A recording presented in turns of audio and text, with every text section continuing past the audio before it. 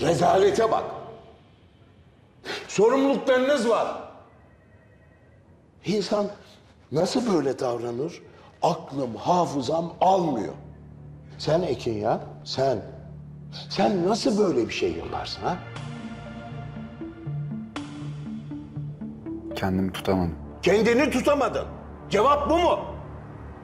Ya sen şirket yönetiyorsun oğlum, şirket. Haklısın Kudret abi. Hele şu yüzünüze gözünüze bakın. Darmadağın bir şekilde at hırsızları gibi şirketin içinde dolaşıyorsunuz. Tövbe tövbe. Ekin. Bu kavgayı sen başlatmışsın oğlum. Neden yaptın böyle bir şeyi? Onların arasında olan şeyler beni zerre kadar ilgilendirmiyor Kenan.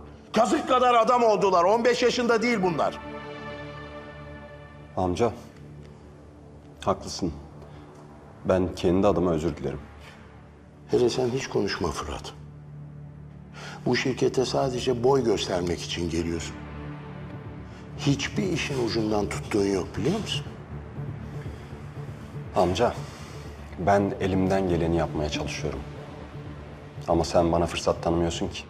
Neyine güvenip sana fırsat tanıyacağım ha? Fırat söyle bana neyine güvenip tanıyacağım? Abi tamam. Tamam daha fazla sinirlenme. Sen de kes artık Fırat. Borsada yüzde iki düşüş var. Sizin sayenizde herkes Akal Holding dağılacak diye konuşuyor. Ne yapacağız şimdi ha?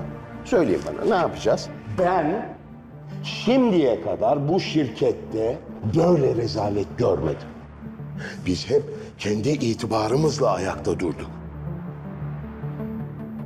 Benim başımı öne eğdiniz. Aferin size çocuk. Aferin. Kudret abi. Ben bu durumu düzeltmek için elimden geleni yapacağım. Çıkın hadi çıkın.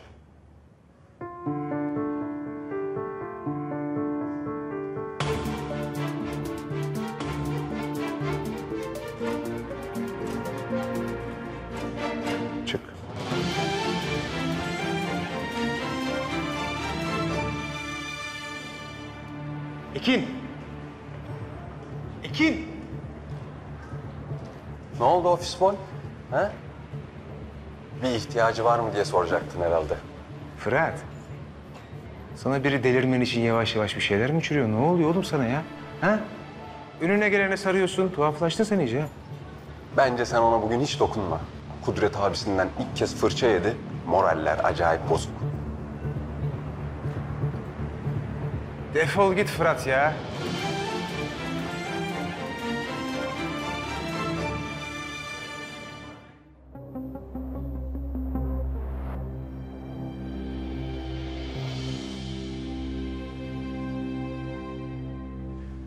Sen niye başımı bekliyorsun?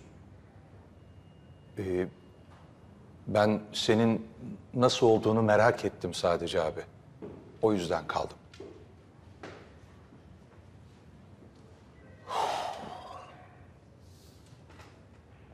İyi değilim Kenan.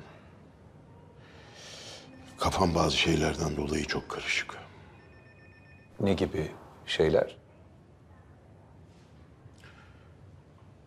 Araba vurdu kaçtı dedin. Aradan bunca yıl geçti. Katil hala ortada yok. E abi o dönemde mobese kameraları yoktu. Yani görgü tanığı falan da yoktu herhalde. O yüzden bulunamamıştır. Zaten kimsesiz bir kadındı abi. Kimsesiz bir kadın değildi Kenan. O benim sevdiğim kadındı. Eğer haberim olsaydı yeri yerinden oynatır bulurdum o caniyi. Tabii bulurdun abi, bulurdun.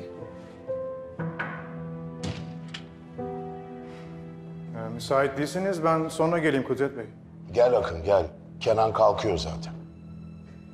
Ben niye kalkıyordum ki abi? Senin işin gücün yok mu Kenan? Bir ihale üzerinde konuşacağız Akın'la. Oldu abi.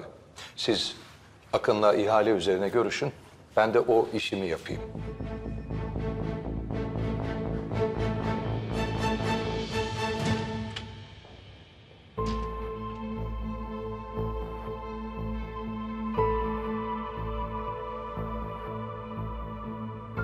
Bakın, ikimizden başka kimsenin bilmemesi gereken bir şeyi araştırmanı istiyorum. Firuze Güneş. Ona ne oldu benim için öğren.